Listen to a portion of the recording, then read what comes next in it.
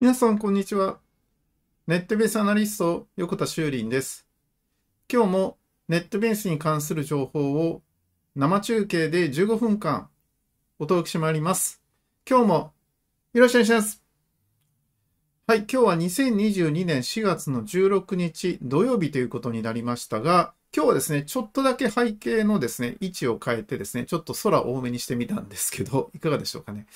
はい、えー、今日ね、あの、お話しすることは土曜日ですので、まあ、恒例のですね、ちょっと緩めの話題ということで話をしていきたいと思うんですが、えー、まず本題に入る前にですね、えー、こちらの方をご覧いただきたいと思うんですけど、はい。先日4月の10日にですね、Facebook に統合したものなんですけど、え鍵の締め忘れ防止グッズ、チェッキー2知っていますかということで投稿させていただいたんですけど、皆さん知ってますでしょうかね。これね、結構ね、あの、個人的には大ヒットですね、のものなんですけど、はい、ここにありますですね、チェッキー2というものなんですが、これ何なのかということで、ちょっとね、紹介したいと思うんですけど、これですね、あの、鍵の、えっと、閉めたかどうかってわかんなくなりません？あの、よくありますよね。あの、あれ、閉めてきたっけ？と思った時に、後からですね、確認しようと思ったら、もう一回玄関に戻って鍵閉まってるかどうか確認しなきゃいけないんだけど、これはですね、しなくてもですね、わかるっていうものなんですね。で、どういう仕組みかというと非常に、あの、簡単な仕組みになっていて、この鍵をこう刺そうとすると、このギュッて押すじゃないですか。鍵の、鍵穴にギュッて。で、ギュッて押した瞬間に、ここにあるあのトリガーっていうものがポチッと押されるので、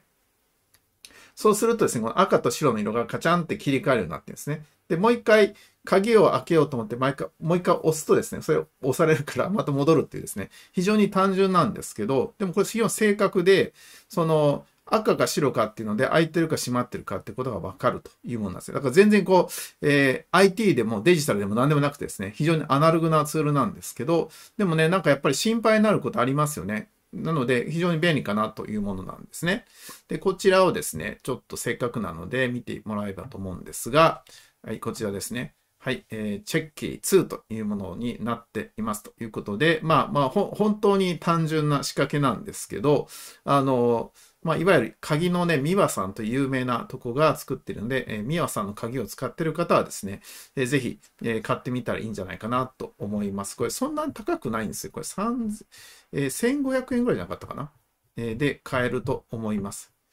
え1500円ですね、え買えますので、よかったら買ってみていただければと思います。はい、えー、今日はですね、あのお話する内容っていうのは、はい、ここにもね、え出ているんですけど、Facebook ページの投稿でいいねが多かったものをですね、3月分ということで振り返っていきたいなと思っています。まあ、単純にですね、こう今までもずっとこうやってきたので、そのままお話しただけじゃ面白くないので、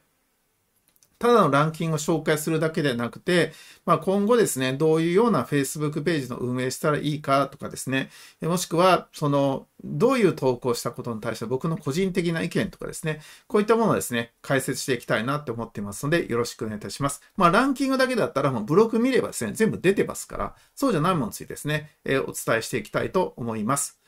はい、えいつものように YouTube のメンバーシップの方にこの先の動画を公開したいと思いますので、興味ある方は、え動画の下の方から月額190円から学べます YouTube メンバーシップのデイリー会員の方に申し込んでみてください。えー、今日の動画だけでもですね、190円の価値があると思いますが、今日から1ヶ月間ですね、毎日の動画が190円で全て見ることができますし、なんならですね、このデイリー会員というサービス始めてもう1年以上経っているんですけど、過去1年以上ね、ずっと遡ってですね、全ての動画を1ヶ月間であれば見放題とも入れますので、よかったら申し込んでいただければと思います。はい。ではですね、早速なんですが、はい、ランキングと、そしてどういうこと気をつけたらいいかなどですね、えー、僕の、えー、フリートークの時間と思ってもらえばいいと思うんですけど、紹介していきたいと思います。えー、こちらからご覧ください。どうぞ。はい。では早速なんですが、紹介していきたいと思うんですけど、はい。まずですね、